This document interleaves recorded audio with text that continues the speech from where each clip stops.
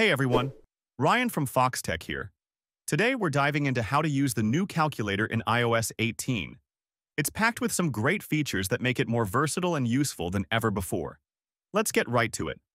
First up, iOS 18 removes the limit on the number of digits you can enter into the calculator. In previous versions, if you ran out of space, you'd have to switch to landscape mode, but not anymore. Now, the digits will continue off-screen, and you can simply swipe left or right to see the rest of your calculation. This makes it much easier to work with large numbers or longer equations without any interruptions. Another powerful feature is the equation history. The calculator now stores all of your previous calculations.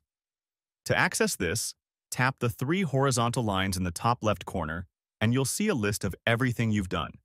If you need to revisit or edit a previous equation, just tap on it, and it's right back on the screen. You can also delete old entries by going into edit mode, keeping your history clean and organized. iOS 18 also brings built-in unit conversions directly into the calculator.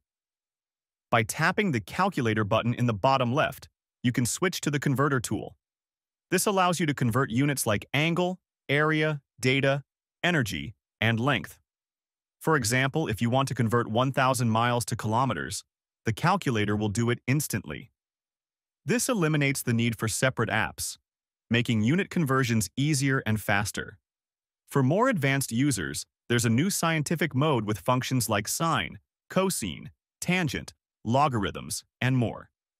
To access it, just switch off the conversion tool and you'll have the full scientific calculator at your fingertips.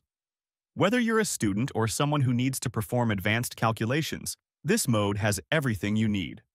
One of the standout features of iOS 18's calculator is Math Notes. By tapping the pencil and paper icon at the bottom right, you can solve equations in a note-like interface. You can type or hand-draw equations, and the app will automatically recognize and solve them. For example, if you handwrite 104 times 5, the calculator will detect it and give you the result instantly. It's an intuitive way to work with equations, especially if you prefer a more visual approach. These new features make the iOS 18 calculator a truly all-in-one tool. Whether you're performing basic math, advanced calculations, or converting units, everything you need is right in one app. It's more powerful and flexible than ever before. That's it for today.